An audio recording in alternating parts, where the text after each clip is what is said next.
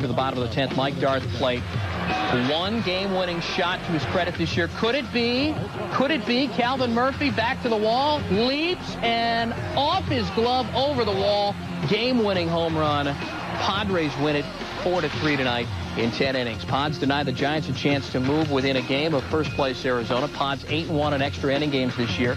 Mike Darr, both his homers this season have been game winners. Hey, let's head into the locker room. No, I just told myself he throws me a first pitch fastball, you know, I'm going to take a swing at. He threw me a fastball out over the plate, and I got good. And yeah, I found that clip on YouTube of Mike Darr hitting a walk-off home run against the San Francisco Giants playing for the San Diego Padres. Um, that's pretty cool seeing him hit a home run and literally the ball just bounced off the wall and over the over the fence. I'm like, hey, home run. so um, anyhow, so back in December of 2022, about four months ago, I did a video about Mike Darr and Richard Janelle about their final resting place at the uh, Crestlawn Memorial Park in Riverside, California.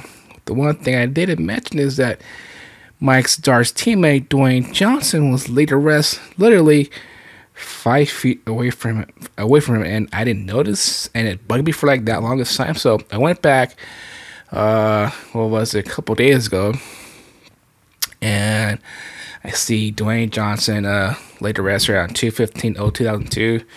I'm like, there is his jersey. When when a red jersey with the number one. I'm like, okay, cool. So if you look on Mike Darstone on the back, you will see picture of his teammate right next to his wife and kids.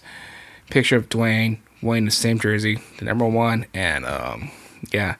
So Mike's Duane's I'm sorry, Duane's pictures on the stone, and that's pretty cool. Seeing both teammates there laid there, but both teammates being laid to rest to next to each other, and kind of heartbreaking too. Um, I mean, if you don't know what happened back in, uh, I think it was February 15, 2002. Um, they were both drinking at a bar, and both decided to.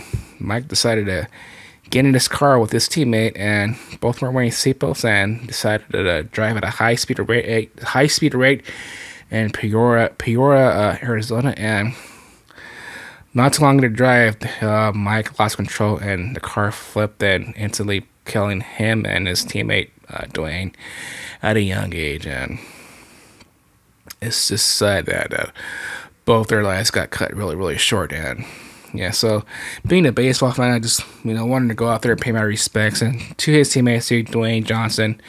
No, not the actor Dwayne Johnson, but you know the baseball player Duane Johnson, Mike's teammate. So yeah, that bugged me for the longest time that um I didn't notice. So so yeah, you know.